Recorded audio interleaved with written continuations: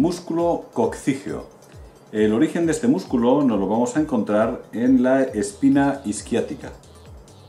Tenemos aquí, en la espina isquiática. Y también en el ligamento sacroespinoso. El sacroespinoso. La inserción. ¿Dónde va a estar la inserción? Nos, lo vamos a encontrar en el borde lateral. ¿eh? En el borde lateral. Aquí. Borde lateral del sacro inferior y también en la región superior del coxis. Siempre en la región lateral. ¿eh? En la región lateral.